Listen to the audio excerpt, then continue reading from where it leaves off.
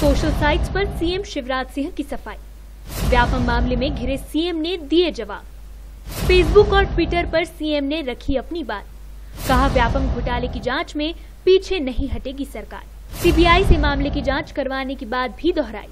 व्यापम घोटाले में चौतरफा घिरे मुख्यमंत्री शिवराज सिंह चौहान ने मंगलवार को अपनी चुप्पी तोड़ दी है। इस मामले में शिवराज सिंह न सिर्फ़ प्रेस कॉन्फ्रेंस के ज़रिए सामने आए हैं, बल्कि सोशल साइट्स पर भी सीएम ने अपनी सफ़ाई पेश की है। शिवराज सिंह ने फेसबुक पर अपनी बात रखते हुए कहा है कि दोषियों के खिलाफ कार्रवाई ज़रूर की जाएगी।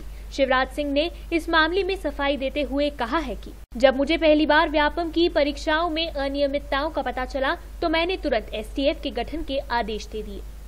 एसटीएफ माननीय उच्च न्यायालय द्वारा गठित एसआईटी की देखरेख में स्वतंत्र और निष्पक्ष जाँच कर रही है। इसमें राज्य सरकार की कोई भूमिका अथवा प्रभाव नहीं है।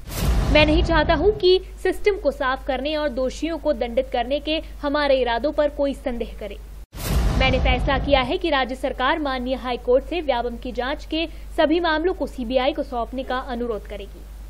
इतना ही नहीं, शिवराज सिंह चौहान ने इस मामले में ट्विटर पर भी अपनी लंबी चौड़ी सफ़ाई दी है और मामले की जाँच पूरी निष्पक्षता से कराने पर ज़ोर दिया है। बहरहाल, अब सबकी नज़रें 9 जुलाई को सुप्रीम कोर्ट में होने वाले व्यापम से जुड़े सभी मामलों की सुनवाई पर जाकर टिकी हुई है। Bureau report, D live news.